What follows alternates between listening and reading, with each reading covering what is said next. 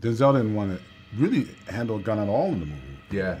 Why use one guy's gun, his gun against him? Yeah, but uh, ultimately he. he That's the only time. I fire a gun. Yeah, he doesn't use a gun. Right.